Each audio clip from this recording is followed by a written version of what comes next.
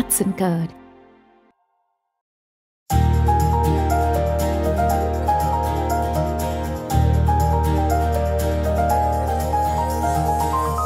வணக்கம். எந்த காரணமும் இல்லாமலே சில பேர் வாழ்க்கையால் அடித்து கீழே தள்ளப்படுறாங்க. எதனால் விழுந்தோம்? யார் தள்ளி விட்டாங்க? எது தப்பாக போச்சு?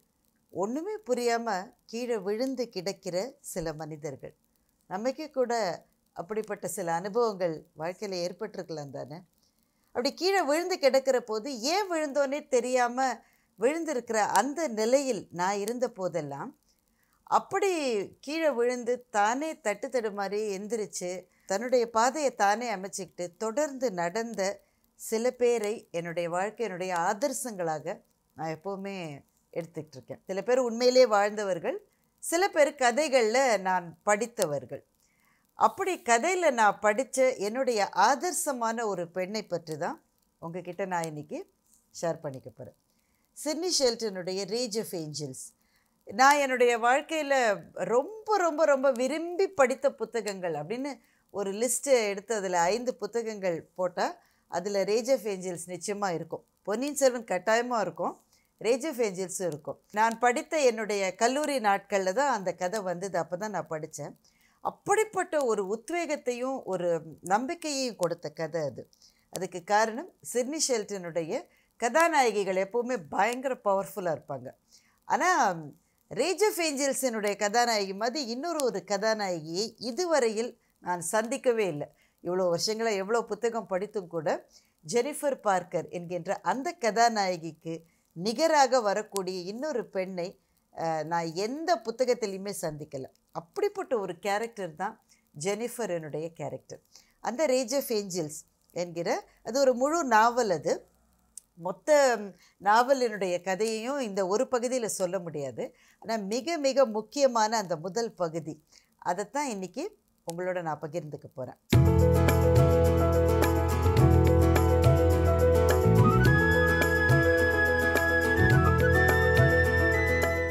கதை ஆரம்பிக்கிறது. இது கிட்டத்தட்ட எண்பதுகளில் வந்த கதை. அதை மாத்திரம் ஞாபகத்தில் வச்சுக்கோங்க. கதை ஆரம்பிக்கிற போது நியூயார்க்கில் இருக்கிற மேன்ஹேட்டன் ஒரு முக்கியமான நீதிமன்றத்தில் மிக மிக மிக மிக முக்கியமான ஒரு வழக்கு அப்போது நடந்து கொண்டிருக்கிறது. அவ குண்டூசியை கீழே போட்டால் கூட அந்த சத்தம் கேட்கிற அளவு அந்த கோர்ட் ரூமில் வந்து அப்படி ஒரு அமைதி நிலவி கொண்டிருக்கிறது.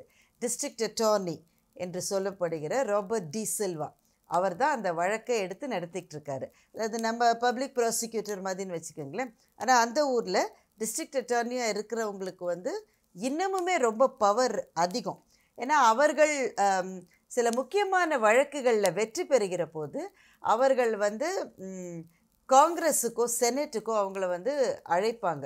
அரசியல்வாதியாக அடுத்த ஒரு பரிமாணத்தில் அவங்களால பெரிய அளவில் வெற்றி பெற முடியும். ராபர்ட் டீசில்வா அப்படிப்பட்ட ஒரு ஆள் தான் அவருக்கு எல்லா விதமான ஆசைகள் உண்டு. அந்த ஆசைகளை நிறைவேற்றி கொண்டே தீருவேன் அப்படின்ற பிடிவாதமும் கொண்ட ஒரு நபர் அவர். சரியான ஒரு வாய்ப்புக்காக பல்லாண்டுகள் காத்துக்கிட்டு இருந்தவர் கையில் லட்டு மாதிரி ஒரு கேஸ் இப்போ கிடச்சிருக்கு. அந்த நியூயார்க் நகர பகுதியில் இருக்கிற ஒரு மாஃபியா கேங். அதாவது நம்ம படங்கள்லாம் டான்னு சொல்லுவாங்கல்ல. எல்லா விதமான உள்ளடி வேலையும் செய்கிறது கொலை கொள்ளை ட்ரக்ஸு கடத்தல் ஆள் கடத்தல் இந்த மாதிரி என்னென்ன வேலை இருக்கோ இதெல்லாம் செய்யறதுக்குன்னே சில கும்பல்கள் இருக்கும் இல்லையா? அங்கே வந்து இருக்கிற அந்த மாதிரியான ஒரு மாஃபியா ஃபேமிலி. அந்த மாஃபியா ஃபேமிலியினுடைய தலைவரினுடைய மருமகன் மைக்கேல் மாரட்டி. இவன் வந்து மருமகன்னு பேர் ஆனால் கிட்டத்தட்ட இவன் தான் இப்போ தலைவர் ஸ்தானத்துக்கு வந்துட்டான் ஏற்கனவே.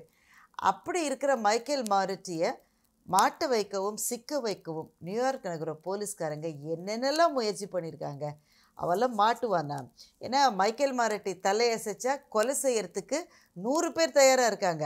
ஆனால் அந்த நூறு பேர் யாரும் அவனை காட்டி கொடுக்கவே மாட்டாங்க. எந்த எவிடன்ஸும் இருக்காது. இவன் தான் செஞ்சான்றது எல்லாருக்கும் தெரியும். ஆனால் இவனை மாட்ட வைக்கவே முடியாது. இப்படிப்பட்ட நிலைமையிலே இருந்த சர்வ வல்லமையுள்ள அந்த மைக்கேல் மாரட்டி கடைசியாக ராபர்ட் டி சில்வாவினுடைய கையில் சிக்கியிருக்கான்னா அது எவ்வளவு பெரிய வரலாற்று நிகழ்வு. அதுதான் இன்னைக்கு கோர்ட்டில் நடந்துட்டுருக்கு மைக்கேல் மாரட்டி அங்கே உட்காந்துருக்கான் அவன் தான் அக்யூஸ்ட் சேரில் உட்காத்தி வைக்கப்பட்டிருக்கான்.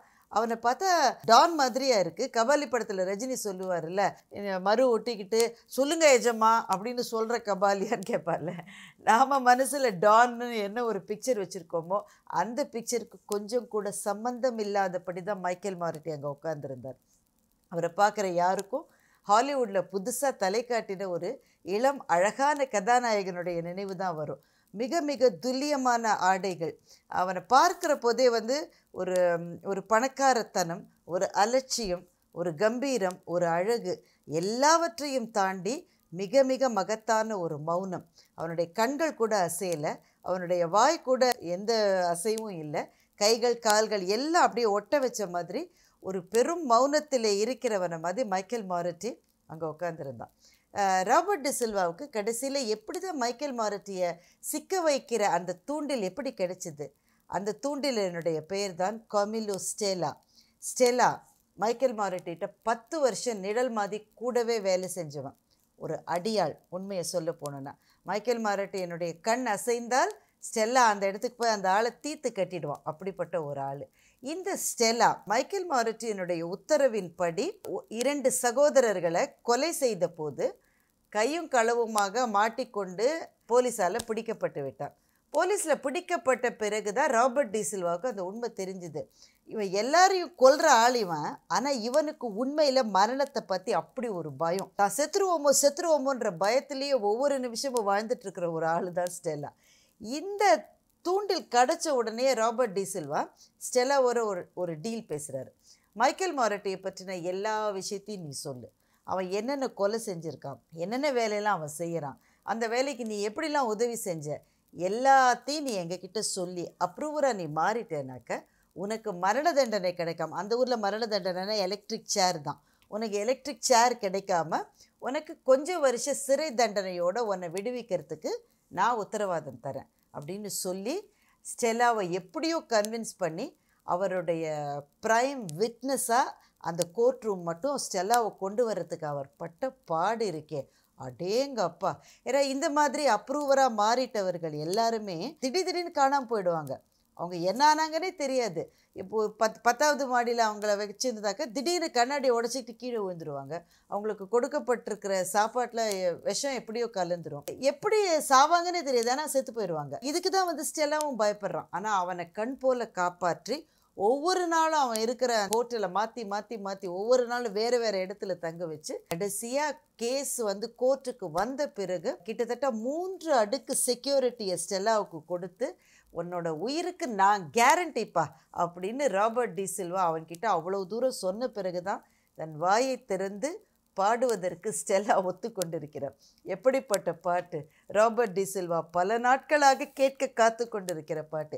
ஏன்னா இந்த வழக்கில் மைக்கேல் மாரட்டி அவர் சிக்க வச்சு மாரட்டியை வந்து அவர் அவனுக்கு மரண தண்டனையோ சிறை தண்டனையோ அவர் வாங்கி கொடுத்துட்டார்னாக்க அது அவருடைய வாழ்க்கையில் நடக்கிற மிக மகத்தான சம்பவமாயிரும். அதற்கு பிறகு அவரை வந்து ஏதாவது ஒரு பதவி கொடுப்பதற்கு அரசாங்கத்தினுடைய பெரும் பதவிகளை கொடுப்பதற்கு எல்லா வாயில்களும் திறக்கும் என்று அவருக்கு தெரியும். அதனால் இந்த நொடி இந்த நாள் ராபர்ட் டி அவனுடைய வாழ்க்கையில் மிக மகத்தான நாள்.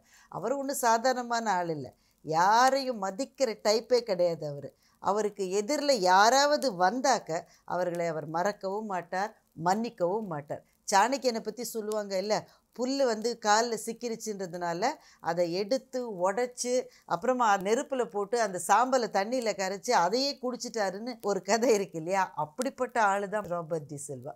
இப்போ அந்த கோர்ட்டில் ப்ரொசீடிங்ஸ் வந்து நடக்க ஆரம்பித்து விட்டது. ஜட்ஜு வந்துட்டாரு. ஜட்ஜு வந்த உடனே ராபர்ட் டி சில்வாவை பார்த்து நீங்கள் உங்களுடைய ப்ரைமரி அக்யூ விட்னஸை வந்து கேள்வி கேட்கலான்னு சொல்கிறாரு ஸோ ராபர்ட் டி சில்வா கம்பீரமாக எழுந்து நிற்கின்றார். விட்னஸ் கூண்டில் வந்து நடுங்கிக்கிட்டே கையை எப்படி முறுக்கிக்கிட்டு வாயை எப்படி முறுக்கிக்கிட்டு மைக்கேல் மாரட்டியினுடைய பக்கமே தன்னுடைய பார்வையை செலுத்தாமல் வேற எங்கேயோ பார்த்துட்டு இருக்கிற மாதிரி பாவனை செய்து கொண்டிருக்கிற ஸ்டெல்லாவிட்டு அவர் கேள்வி கேட்க ஆரம்பிக்கிறாரு. அந்த ஊரினுடைய ப்ரொசீஜர்ஸ் படி முதல்லயே அவர் கேட்குறாரு நீ வந்து எங்களுக்கான விட்னஸாக மாற நீ ஒத்துக்கிட்டுருக்க இப்படி ஒத்துட்டு இருக்கிறதுல எந்த யாரும் உன்னை ஃபோர்ஸ் பண்ணலை. வந்து எந்த விதமான அச்சுறுத்தல்களும் இல்லை. நீயே வாலண்டியராக இதை வந்து சொல்ல முன் வந்திருக்க. அப்படித்தானே அப்படின்னு கேட்குறாரு ஆமாம் அப்படின்னு சொல்லிட்டு ஸ்டெல்லா சொல்கிறான் சரி ஸ்டெல்லா உன்னோட வேலை என்ன? என்ன செஞ்சுட்டு இருக்க நீ?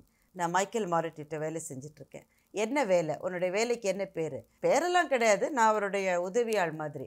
உதவினா என்ன மாதிரி உதவி சொல் செய்வேன் மைக்கேல் மாரட்டிக்கு யாரையாவது பிடிக்கலைனாக்கா கண்ணை காமிச்சு விடுவான் மைக். நான் போய் அந்த ஆளோட கதையை முடிப்பேன். அதுதான் என்னுடைய வேலை. அப்படின்னு ஸ்டெல்லா சொல்லும்போது கோர்ட்டில் எப்படி இருக்கும்னு யோசிச்சு பாருங்க. அமெரிக்காவில் வந்து இப்போவும் இருப்பது ஜூரி சிஸ்டம் தான். இந்த மாதிரியான முக்கியமான வழக்குகளில் சில சமூகத்தில் பதவிகளை வகிக்கிற அல்லது முக்கியமான சில நபர்களை அவங்க ஜூரியாக தேர்ந்தெடுத்து அந்த ஜூரியனுடைய தீர்ப்புக்கும் அந்த வழக்கில் வந்து ஒரு பெரிய மதிப்பு உண்டு. அங்கே உட்காத்தி வைக்கப்பட்டிருக்கிற ஜூரிஸோடைய உயிரை காப்பாற்றுறதுக்கே ராபர்ட் டிசில்வா அவ்வளவு பாடுபட வேண்டியது ஏன்னா திடீர் திடீர்னு ஜூரி யாராவது செத்து போயிட்டா அதனால் அவங்களெல்லாம் காப்பாற்றி விட்னஸை காப்பாற்றி இவ்வளோ தூரம் வழக்கை கொண்டு வரத்துக்கு இந்த மனுஷன் ஒரு பாடு பட்டிருக்கார் பாருங்க. அவருடைய பெரிய உருவத்திலேயே அது தெரியுது. இப்போ தன்னுடைய கேள்விகளை தொடருகிறார். அப்பப்போ ஜூரிஸ் ஜூரிஸோட முகத்தை பார்த்துக்கிறாரு. ஏன்னா அந்த முகத்திலிருந்து தானே இவருடைய வெற்றி உறுதி செய்யப்பட வேண்டும். அதனால் அவங்களாம் அதிர்ச்சி அடைஞ்சிட்டாங்க இப்போவே. இதுக்கே அதிர்ச்சி அடைஞ்சிட்டா இன்னும் என்னென்ன இருக்குது சரி அந்த மாதிரி நீ மைக்கேல் மாரட்டிக்கு உதவி செஞ்ச ஏதாவது ஒரு சம்பவத்தை சொல்லு. அப்போ ஸ்டெல்லா ரெண்டு மூணு சம்பவத்தை சொல்கிறோம் ஒரு நாலு மாதத்துக்கு முன்னாடி ஒரு ஆள் வந்து மைக்கேல்கிட்ட கடன் வாங்கியிருந்தான். கடன் வாங்கி நம்ம ஒழுங்காக வட்டி கட்டினது தானே? அந்த வட்டியை கொடுக்காம அவன் கிட்டத்தட்ட முப்பது நாள் மைக்கேல் மாரட் அவன் தண்ணி காட்டினான். நான் எங்களெல்லாம் அனுப்பிச்சு பார்த்தாரு. நாங்கள் போனால் அவன் கண்ணுலேயே சிக்க மாட்டான். எங்கே இருக்கான்னு தெரியாது. அதனால் Mike wanted to teach him lesson ஏன்னா ஒரு ஆளை வந்து வட்டி கட்டாமல் விட்டாங்கன்னா அதை பார்த்து பல பேர் வட்டி கட்டாமல் போயிடுவாங்க தானே? அதனால் நான் அந்த ஆளை கண்டுபிடிச்சி அவனுக்கு பாடம் சொல்லி கொடுத்தேன் பாடம் சொல்லி கொடுக்கறதுன்னா அப்படின்னு ராபர்ட் டிசில்வா கேட்குறார் பாடம் சொல்லி கொடுக்கறது நான் என்ன? காலை உடைச்சேன் அதான். திரும்பவும் ஜூரிஸோட முகத்தை பார்க்குறாரு டிசில்வா அவங்களாம் ஏற்கனவே பயத்தில் உறைஞ்சி போயிருக்காங்க.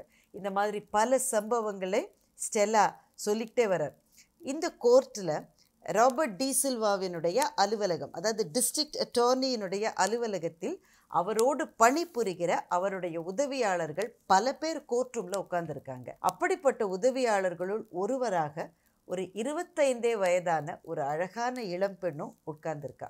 அவள் பேர் ஜெனிஃபர் பார்க்கர். அவளுக்கு அந்த இடத்துல உட்கார்ந்துருக்கிறதே பரவசமாக இருக்குது ஏன்னா அதுதான் அவள் வேலையில் சேர்ந்த முதல் நாள்.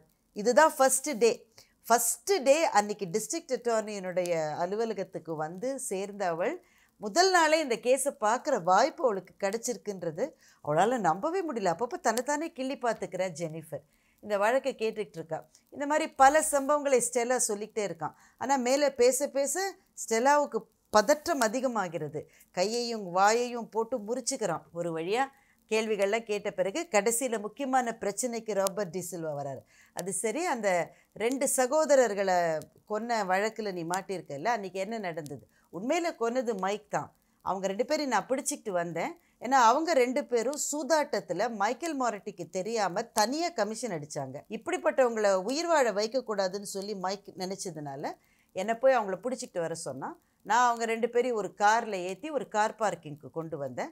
அவங்க ரெண்டு பேரும் காரில் இறங்கும் போதே மைக் அங்கே தான் நின்றுட்டு இருந்தான். தன் கையில் இருந்த துப்பாக்கினால் ஒரு நிமிஷம் கூட யோசிக்காமல் ரெண்டு பேரையும் அடுத்தடுத்து சுட்டு கொன்னது மைக்கேல் மாரட்டி தான். அப்படின்னு ஸ்டெல்லா சொல்லி முடித்த உடனே கோர்ட் முழுக்க அப்படியே ஒரு அமைதி நிலவுகிறது. இந்த நேரத்தில் கம்பீரமாக தன்னுடைய கொஸ்டினை முடித்த ராபர்ட் டி சில்வா மைக்கேல் மாரட்டியினுடைய வக்கீல் தாமஸ் கோல்ஃபேக்ஸ்ன்றவர். வயசானவர் ஆண்டாண்டு காலமாக மைக்கேல் மாரட்டியினுடைய குடும்பத்துக்கே லாயராக இருந்தவர் அவர். கடவுள் அதுக்காக தான் அவரை படித்த மாதிரி நினச்சிக்கிட்டு இருக்கிறவர். இப்போது தாமஸ் கோல்ஃபேக்ஸை பார்த்து ராபர்ட் டி சில்வா சொல்கிறார் you can cross examine the witness now ஏன்னா இந்த சாட்சியை நீங்கள் குறுக்கு விசாரணை செய்யலாம். அப்படின்னா தாமஸ் கோல்ஃபேக்ஸ் எழுந்து நிற்கிறாரு கடிகாரத்தை பார்க்குறாரு ஜட்ஜ்கிட்ட சொல்கிறாரு இப்போ கிட்டத்தட்ட மணி பன்னெண்டு போகுது. நான் கேள்வி கேட்க ஆரம்பித்தா உடனேயே லஞ்ச் பிரேக் வந்துடும் நடுவில் தடங்கல்களை நான் விரும்புறதில்ல. அதனால் ஒரு வழியாக லஞ்ச் பிரேக்கு முடிச்சுட்டு ரெண்டு மணிக்கு கோர்ட்டில் திரும்பவும் நாம் கேள்வியை கேட்குற மாதிரி வச்சுக்கலாமா மை லார்ட் அப்படின்னு கேட்குறாரு. ஜட்ஜும் அதுக்கு ஒத்துக்கிறாரு. அதனால் உணவு இடைவேளைக்காக அந்த கோர்ட்டுக்கு போது ஒரு ரெண்டு மணி நேரம் டைம் விடுறாங்க. ரொம்ப பத்திரமா ஸ்டெல்லாவை அப்படியே ஒரு மூன்று அடுக்கு பாதுகாப்போடு கொண்டு போய் அவனுக்குன்னு ஒரு செல் இருக்குது அந்த செல்லில் வச்சு அவனை பாதுகாப்பாக வச்சுருக்காங்க. மைக்கேல் மாரட்டி எதுவுமே சொல்லாமல் அந்த கோர்ட்லேருந்து அவனுடைய இடத்துக்கு அவன் விலகி போகிறான் ஜெனிஃபர் பார்க்கர் வெளியில் நடக்கிற ஒரு சாண்ட்விச்சை வாங்கி கிடைக்கிறதுக்கு காலையிலேருந்து அவள் எதுவுமே சாப்பிடல. ஆனால் அவளுக்கு சாப்பிட்ற மனநிலையிலே இல்லை. அப்படி ஒரு பரவசம் அவளுக்கு. அதுதான் முதல் நாள். ஜெனிஃபர் பார்க்கரனுடைய அப்பாவே ஒரு வக்கீல் தான் ஆனால் இந்த மாதிரி பெரிய கோர்ட்டிலலாம் வாதாடுற பெரிய வக்கீல்லாம் கிடையாது. வாஷிங்டனில் இருக்கிற ஒரு சின்னஞ்சிறு நகரத்தில் அவர் அங்கே இருக்கிற தொழிலாளர்கள் அங்கே இருக்கிற லேபரர்ஸு அவங்களுக்கான சின்ன சின்ன வழக்குகளில் ஆஜராகிற ஒரு வக்கீல். ஆனால் அப்பாவை பார்த்து பார்த்து வளர்ந்த ஜெனிஃபர் என்னுடைய கனவு தானும் வக்கீலாவது தான். இவங்க ஜெனிஃபர் என்னுடைய அம்மா ஜெனிஃபருக்கு ஒரு பன்னெண்டு பதிமூணு வயசு இருக்கும்போதே தன்னுடைய மகளையும் தன் கணவனையும் விட்டுட்டு வேற யாரோ ஒருத்தனோட ஓடி போயிட்டாங்க. அதனால் அம்மாவை பற்றிய நல்ல நினைவுகளே ஜெனிஃபருக்கு இல்லை. அவளுடைய மூச்சிலும் அவளுடைய வாழ்க்கையிலும் நிரம்பி இருந்ததெல்லாம் அவளுடைய அப்பா மாத்திரம்தான் அவங்க அப்பாவுக்கு இருந்தது ஒரே ஒரு வ- ஆசை. ஒரு பெரிய லா ஸ்கூலில் படித்து ஜெனிஃபர் ஒரு பெரிய லா ஃபேர்மில் வேலை செய்யணும். அப்படின்றத தவிர அவருக்கு வாழ்க்கையில் வேறு எந்த ஆசையுமே இல்லை. அம்மா ஓடி போன பிறகு அப்பாவினுடைய வாழ்க்கை கொஞ்சம் கொஞ்சமாக சுருங்கி வருவது ஜெனிஃபருக்கு தெரியுது. அதனாலே அப்பாவை சந்தோஷப்படுத்துறதுக்காக வேற எதுவுமே செய்யாமல் படிப்பு மாத்திரமே தன்னுடைய வாழ்க்கைன்னு ஜெனிஃபர் இருந்தா அப்போ அந்த வயசுலேயே வரக்கூடிய பலவிதமான காதல் ப்ரப்போசல்ஸ் எல்லாம் வருது. ஏன்னா ஜெனிஃபர் ரொம்ப அழகானவ மிக மிக விசாலமான பச்சை நிற கண்கள் கொண்ட ஒரு அழகான பெண் அவள் அவளை பார்க்குற போதே அவள் முகத்தில் இருக்கிற புத்திசாலித்தனம் யாரையும் கவரக்கூடியது. அதனால் பசங்க சும்மா இருப்பாங்களா? அவளை வந்து அங்கே போகலாம் இங்கே போகலான்னு சொல்கிறது இந்த ப்ரப்போசல்லாம் வருது. இதுக்கெல்லாம் அவளுக்கு நேரமே இல்லை.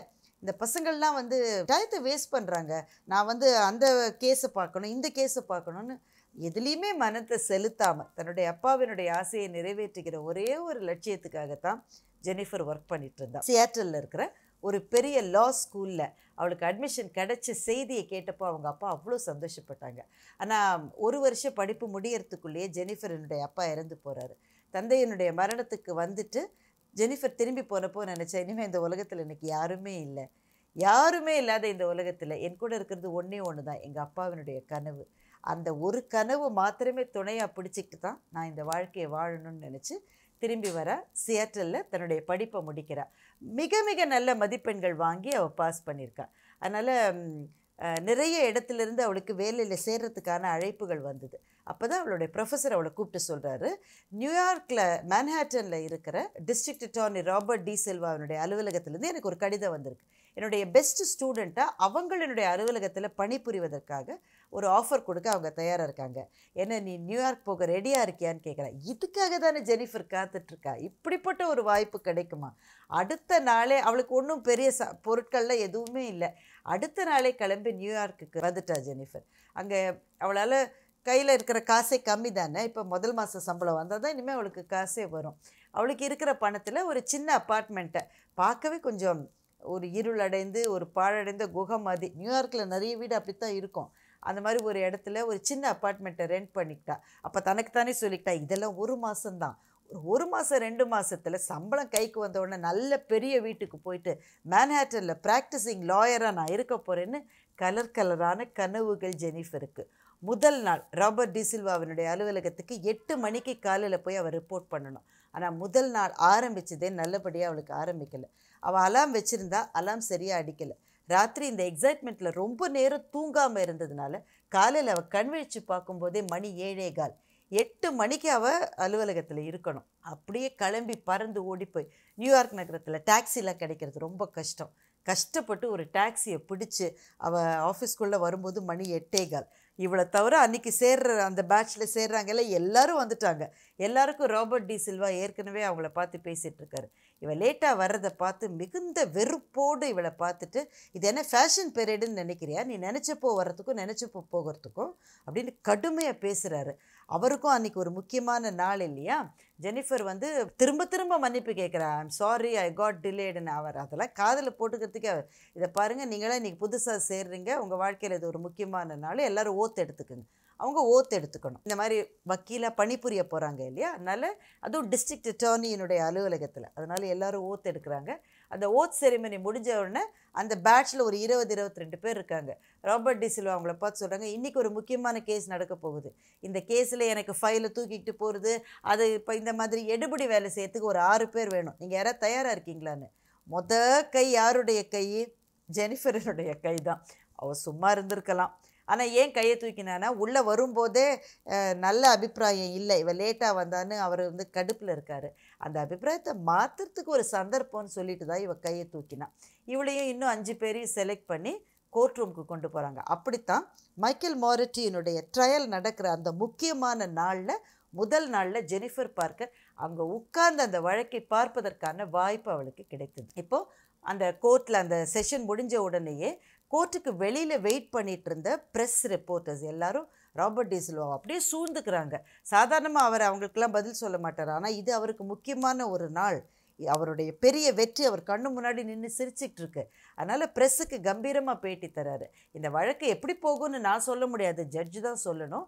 ஆனால் மிக கஷ்டப்பட்டு இந்த வழக்குக்காக எல்லா விதத்துலேயும் நாங்கள் தயாராக ஒர்க் பண்ணியிருக்கோம். அதனால் தவறு செய்தவர்கள் தண்டிக்கப்படுவார்கள் என்ற நீதி மீது நம்பிக்கை வைத்துத்தான் இந்த வழக்கை நான் நடத்தி கொண்டிருக்கிறேன் அப்படின்னு வீர தீர உரையெல்லாம் கொடுக்குறாரு. ப்ரெஸ்ஸெல்லாம் கைத்தட்டாத குறை. அவர் அப்போ ஒரு ஹீரோவாக அவங்க முன்னாடி மிளிர்கிறார். இதெல்லாம் பார்த்துக்கிட்டு இருந்த ஜெனிஃபருக்கு பரவசமாக இருக்குது நீதி என்பது எவ்வளவு உய உயர்ந்த விஷயம் இல்லை. வாழ்க்கையில் எல்லாராலும் கைவிடப்பட்ட பிறகு கூட ஒருவனுக்கு இருக்கிற ஒரே நம்பிக்கை நீதிமன்றங்கள் மாத்திரம்தான். அப்படிப்பட்ட நம்பிக்கையை தர நீதிமன்றத்தில் நான் இப்போ உட்கார்ந்துருக்கேன்றதே என் வாழ்க்கையில் எவ்வளோ பெரிய ஆப்பர்ச்சுனிட்டி இப்படிலாம் ஏதோ ஜெனிஃபர் நினச்சிக்கிட்டே இருக்கும்போது பார்க்குறா ராபர்ட் டி சில்வா நின்றுட்டு இருக்காரு அவரை சுற்றி ஒரு ஏழு எட்டு பேர் நின்று அவரோட பேசிக்கிட்டு இருக்காங்க அவங்களாம் யாருன்னு இவளுக்கு தெரியாது. அவங்க கிட்ட வேலை செய்கிறவங்க அப்படின்னு இவன் மனசுக்குள்ளே நினச்சிக்கிறா. அதில் ஒரு ஆள் ராபர்ட் டி சில்வாட்ட ஏதோ பேசிட்டு அங்கிருந்து திரும்பி நேராக ஜெனிஃபர் பார்க்கிற்கிட்ட வர பத பதப்பாக இருக்குது இவ எழுந்து நிற்கிறா இவ. மிஸ் பார்க்கர் அப்படின்னு அவர் கேட்குறாரு அட என் பேரை நினைவு வச்சிருக்காரே ராபர்ட் டி சில்வா அப்படின்னு இவளுக்கு ஒரே மகிழ்ச்சி. Yes I am Jennifer Parker? அவரோட கையில் ஒரு சின்ன பார்சல் இருக்கு. அந்த பார்சலை கொடுத்து நீ இதை கொண்டு போய் ஸ்டெல்லா கிட்ட கொடுத்துட்டு வர சொல்லி ராபர்ட் டி சில்வா ஒன்ட்ட இதை கொடுக்க சொன்னார் அப்படின்னு. ஜெனிஃபருக்கு சந்தோஷம் தாங்கலை. ஏன்னா இப்போ கிளாஸில் டீச்சர் நமக்கு ஒரு வேலை சொன்னாலே நமக்கு நம்ம பெரிய ஆள் மாதிரி நம்ம நினச்சிப்போம்ல. அப்படிப்பட்ட மனநிலையில் தான் அவள் இருக்கா. அன்றைக்கி தான் அவளுக்கு ஐடி கார்டு கொடுத்துருக்காங்க. ராபர்ட் டி சில்வாவினுடைய ஆஃபீஸ் அசிஸ்டண்ட்டுன்ற முக்கியமான ஐடி கார்டு. அந்த ஐடி கார்டை வச்சுட்டு அவளால் எங்கேயும் போக முடியும். அந்த ஐடி கார்டை கழுத்தில் போட்டுட்ருக்காவ. இந்த பார்சல் கொடுக்கப்பட்ட உடனே அதுவும் அந்த ஆள் ராபர்ட் டி சில்வாவுடைய கிட்ட பேசிக்கிட்டு வந்த உடனே என்னை நம்பி இந்த பொறுப்பை ஒப்படைச்சிருக்காரு அப்படின்ற ஒரு பெருமிதத்தோடையும் ஒரு சந்தோஷத்தோடையும் அந்த பார்சலை எடுத்துக்கிட்டு ஸ்டெல்லா அந்த முக்கியமான விட்னஸ் அவன் இருக்கிற அந்த பாதுகாப்பு அறைக்குள்ளே இவ போகிறான் அங்கே இருக்கிற காவலர்கள் ரெண்டு மூணு அடுக்கு காவலில் தடுக்கிறாங்க அவளை. நீ யாருன்னு ஐடி கார்டை காமிக்கிறா. ராபர்ட் டிசில்வா அவனுடைய ஆஃபீஸினோட போக விட்டுறாங்க. ரெண்டாவது அடுக்கு. மூன்றாவது அடுக்கையும் தாண்டுகிற போது அவன் சொல்கிறான் இங்கே யாருமே வரக்கூடாது. யாரையுமே அனுமதிக்கக்கூடாதுன்னு சொல்லி சொல்லியிருக்காங்களே நீ எப்படி வரேன்னு அவன் கேட்குறான் இவன் வந்து ஐடி கார்டை காமிக்கிறான் நான் அவரோட ஆஃபீஸ்லேருந்து வரேன். ஸ்டெல்லாக்கு வந்து இந்த பார்சலை கொடுக்கணும். இதில் சில டாக்குமெண்ட்ஸ் இருக்குது அதை ஸ்டெல்லா பார்க்க சொல்லி அவர் சொல்லி விட்டுருக்காரு அப்படின்னு இவன் சொல்கிறான் அந்த அந்த ஆள் இவளை போக விட்டுறான். இவள் உள்ளே போய் அந்த பேக்கெட்டை வந்து ஸ்டெல்லாட்ட கொடுத்துட்டு இவன் வெளியில் வந்துடுறா. அப்போவே அவளுக்கு ரொம்ப பெருமையாக இருக்குது இவளுக்கு ரொம்ப பெரிய இடம் கிடச்சிட்டதாகவும் இவளை நம்பி பல பொறுப்புகள் ஒப்படைக்கப்படுவதாகவும் நினச்சிக்கிட்டு சந்தோஷமாக போய் அந்த சாண்ட்விட்சை கடிக்கிறாள் சாண்ட்விட்சை கடிக்கிறதுக்கு அவள் சாப்பிடவே மனசு இல்லை அடுத்தது கோர்ட் ஆரம்பிச்சிருன்ற ப பதப்பதப்பில் திரும்பி வர்ற போது தான் அங்கே இருக்கிற ஒரு பரபரப்பு அப்படியே எல்லாரும் அங்கேயும் இங்கேயும் ஓடுறாங்க. நிலைமையே மாறி போயிருக்கு கோர்ட்டில் என்னடா ஆச்சு? நான் போய் அஞ்சு நிமிஷம் சாண்ட்விச் சாப்பிட்டு வரத்துக்குள்ள அப்படின்னு நினச்சிக்கிட்டு ஜெனிஃபர் பார்க்கர் மெல்ல உள்ளே நுழையிற போது ராபர்ட் டீசில் சில்வாங்க கத்து கத்து கத்து கத்துன்னு கத்திட்டு இருக்காரு. இந்த இவருக்கு இந்த மாதிரி இன்னும் ரெண்டு நிமிஷம் கத்தினா இவருக்கு ஹார்ட் அட்டாக் வந்துடும் இவளுக்கு பயமாக இருக்குது அவளை சுற்றி அவரை சுற்றி அவ்வளோ பேர் இருந்துகிட்ருக்காங்க ஸ்டெல்லாவுடைய அந்த பாதுகாப்பு அறையில் காவலுக்கு இருந்த அந்த ஒரு ஆளும் ராபர்ட் டிசில்வா பக்கத்தில் நின்றுட்டு இருந்தான். ஜெனிஃபரை பார்த்த உடனே தன்னுடைய கையை நீட்டி இவ தான் அப்படின்னு அவன் அடையாளம் சொல்கிறான் என்ன நடந்ததுன்னு புரியறதுக்கு முள்ளையே ஜெனிஃபர் பார்க்கரை ரெண்டு போலீஸ்காரங்க பிடிச்சிக்கிறாங்க. அவள் கையில் விலங்கு மாட்டப்படுகிறது. அவளை அப்படியே உள்ளே கொண்டு போய் ஒரு செல்லில் அவங்க அடைக்கிறாங்க. என்ன நடந்ததுன்னே ஜெனிஃபருக்கு தெரியல. உண்மையில் என்ன நடந்ததுன்னா அவள் ஒரு பேக்கெட் கொ கொண்டு போனால அந்த பேக்கெட்டில் ஸ்டெல்லா அதை பிரித்து பார்த்துருக்கான். அதுக்குள்ளே என்ன இருந்ததுன்னா கழுத்து திருகி கொலை செய்யப்பட்ட ஒரு சிட்டுக்குருவி உள்ளே இருந்தது. டாக்குமெண்டெல்லாம் இல்லை. கொலை செய்யப்பட்ட ஒரு குருவி. அது மூலமாக மைக்கேல் மாரட்டி ஸ்டெல்லாக்கு ஒரு மெசேஜ் அனுப்பிச்சிருக்கான். எனக்கு எதிராக சாட்சி சொன்னால் இதுதான் உன்னுடைய கதி அப்படின்னு. அதை பார்த்த உடனே ஸ்டெல்லா தன்னுடைய மனசை முழுவதுமாக மாற்றிக்கொண்டு நான் மைக்கேல் மாரட்டிக்கு எதிராக விட்னஸாக இனிமேல் இருக்க மாட்டேன் அப்படின்னு சொல்லிட்டு தன்னுடைய ப்ளீயை வித்ட்ரா பண்ணிடுறான். ராபர்ட் டிசில்வா எவ்வளவோ சொல்லி பார்க்குறாரு. ஆனால் எனக்கு ஒரு பாதுகாப்பு உங்களுக்கு நீங்கள் தருவீங்கன்னு சொன்னதுனால தானே வந்தேன். இன்றைக்கி எனக்கு இந்த பேக்கெட்டை அவனால் கொடுத்து அனுப்ப முடியும்னா நாளைக்கு நான் சாப்பிட்ற சாப்பாட்டில் விஷத்தை கலக்கவும் அவனால் முடியும். அதனால் அவனுக்கு எதிராக நான் எதுவும் சொல்ல மாட்டேன். நீங்கள் என்ன பண்ணுவீங்க? என்னை ஜெயிலில் போடுவீங்க அவ்வளோதானே தாராளமாக ஜெயிலில் இருந்துக்கிறேன். மைக்கேல் கையில் சிக்கி அணு அணுவாக சாகிறத விட நான் உங்களோட ஜெயிலில் இருக்கிறது எனக்கு இன்னும் பாதுகாப்பானது. அவனுக்கு எதிராக நான் சாட்சி சொல்ல மாட்டேன்னு ஸ்டெல்லா சொல்லிட்டான். ராபர்ட் டிசில்வாவினோட கையில் இருந்த கடைசி ஆயுதமும் நழுவி விட்டது. இப்போ அவர் என்ன செய்ய முடியும்? அவருடைய அத்தனை கோபமும் ஜெனிஃபர் பார்க்கர் மேலே பாய்ந்தது. ஜெனிஃபர் பார்க்கரை இப்போ இன்வெஸ்டிகேட் பண்ணுறாங்க என்ன நடந்ததுன்னே புரியல அவளுக்கு. இன்வெஸ்டிகேட் பண்ணுறாங்க நீ மைக்கேல் மாரட்டி என்னோட கேர்ள் ஃப்ரெண்டா நீ? நீ எவ்வளோ காசு வாங்கின அவன்கிட்ட? இதை உள்ளே கொண்டு போய் கொடுக்கறதுக்கு. இவ திரும்ப திரும்ப சொல்கிறா எனக்கு மைக்கேல் மாரட்டி யாருன்னு எனக்கு தெரியாது. இந்த பேக்கேஜை கொடுக்கறதுக்கு நான் யார்ட்டையும் காசு வாங்கலை. நான் பார்த்துக்கிட்டே இருந்தேன். ஒரு ஆள் உங்களோட பேசிக்கிட்டு இருந்த ஆள் அங்கேருந்து வந்து நீங்கள் கொடுக்க சொன்னதாக சொன்னதுனால தான் நான் உள்ளே போய் இதை கொடுத்தேன். இது உள்ளே என்ன இருக்குன்னே எனக்கு தெரியாது. திரும்ப திரும்ப திரும்ப திரும்ப திரும்ப திரும்ப கிட்டத்தட்ட அஞ்சு ஆறு மணி நேரம் ஜெனிஃபரை வந்து கொஸ்டின் பண்ணி கொஸ்டின் பண்ணி கொஸ்டின் பண்ணி ஒன்றுமே இனிமேல் என்னால் முடியாதுன்ற நிலையில் சொன்னதையே அவள் திரும்ப திரும்ப சொன்ன பிறகு கடைசியாக ராபர்ட் டீசல்வா சொல்கிறாரு நீ இப்போ போகலாம். ஆனால் இனிமே நீ அமெரிக்காவில் எந்த இடத்துலையுமே வக்கீலாக ப்ராக்டிஸ் பண்ண முடியாதபடி உன்னை டிபார் பண்ண போகிறோம் உன்னை. நீ இனிமே வக்கீலா தொழில் நடத்துறதுக்கே வாய்ப்பு இல்லை. ஆனால் நீ தான் காசு நிறைய வாங்கிட்டே அதை பற்றி உனக்கு கவலை இல்லை தானே? அப்படின்னு நெஞ்சில் இறக்கமே இல்லாமல் சொல்லி அவளை வெளியில் அனுப்புகிறாரு அன்னைக்கு நியூயார்க்கில் இருக்கிற தன்னுடைய அப்பார்ட்மெண்ட்டுக்கு கதவை திறந்து ஜெனிஃபர் உள்ளே வந்தபோது உலகமே அவள் முன்னாடி எதுவுமே இல்லாமல் சாம்பலாக இருந்தது. அப்போ ஜெனிஃபர் நினச்சிக்கிட்டா ஒருவேளை என் பேர் கின்னஸ் புக் ஆஃப் வேர்ல்ட் ரெக்கார்ட்ஸில் வந்தாலும் வரும். இந்த உலகத்திலேயே வெறும் நாலு மணி நேரம் மாத்திரமே வக்கீலாய் பணியாற்றிய ஒரே பெண் இவள்தான் அப்படின்னு என்னுடைய பேர் கின்னஸ் புக்கில் வந்தாலும் வரும் அப்படின்னு நினச்சிக்கிறாள் அன்று இரவு அவளால் தூங்க முடியல. அடுத்த நாள் முழுக்க நியூஸில் ஜெனிஃபர் தான் இருந்தா. இ- அது அழகான பெண் வேற இல்லையா? எங்கப்பார் அவளுடைய படங்கள் தான். இவளுக்கு யார் காசு கொடுத்தாங்க?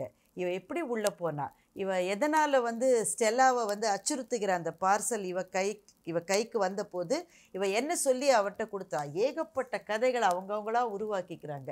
அவள் மைக்கேல் மாரட்டினோட கேர்ள் ஃப்ரெண்டுனும் அல்லது மைக்கேல் மாரட்டினால் நிறைய காசு கொடுத்து விலைக்கு வாங்கப்பட்ட ஒரு இளம் வக்கீல்னும் விதவிதமாக கதைகள் அவளை பற்றி உலா வந்தன தான் இருக்கிற அந்த டிஞ்சி அப்பார்ட்மெண்ட்டை விட்டு வெளியில் கூட போக முடியாமல் சோர்ந்து உட்கார்ந்திருந்த ஜெனிஃபர் தன்னுடைய அப்பாவினுடைய படத்தை பார்த்தாள். எல்லாத்தையுமே நான் கெடுத்துட்டேனாப்பா.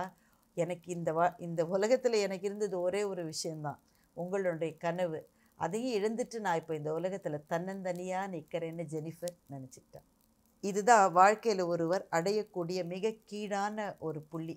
அந்த புள்ளியில் தான் ஜெனிஃபர் இருக்கா? ஆனால் இந்த புள்ளியிலிருந்து எழுந்து எப்படி அவள் உச்சங்களை தொட்டாள் அப்படின்றத அடுத்த பகுதியில் பார்க்கலாம். பாய்